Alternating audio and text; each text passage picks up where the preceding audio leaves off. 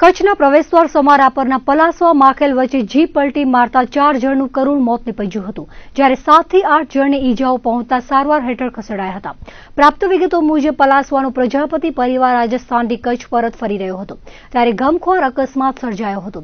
GJ બાર BR ઓગણસિત્તેર છવ્વીસ નંબરની જેનીઓ ગાડીમાં પ્રજાપતિ પરિવાર રાજસ્થાનથી કચ્છ આવતો હતો, ત્યારે પલાસવા માખેલ વચ્ચે જીપ પલટી મારી જતા પલાસવાના ચાલીસ વર્ષીય અમૃતબેન નવીનભાઈ પ્રજાપતિ તેમજ ગાંધીધામ રહેતા પચાસ વર્ષીય શાંતિબેન નાનજી પ્રજાપતિનું ઘટના સ્થળે જ કમકમાટી ભર્યું મોત નીપજ્યું હતું. તો- અકસ્માતમાં ગંભીર રીતે ગવાયેલા બાબુભાઈ ભીખાભાઈ પ્રજાપતિ તેમજ રાજેશ ભીખાભાઈ પ્રજાપતિને સારવાર માટે રાધનપુરની હોસ્પિટલમાં ખસેડાયા હતા.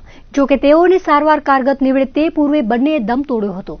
એકાએક ગાડી પલટી મારી જતા બનેલા બનાવને કારણે પ્રજાપતિ પરિવારનો માળો પીખાઈ ગયો હતો. ઘટના બાદ આડેસર પોલીસનો સ્ટાફ તાબડતોડ બનાવ સ્થળે ધસી ગયો હતો અને હતભાગીઓને પીએમ માટે ખસેડવાની તજવીજ હાથ ધરી હતી.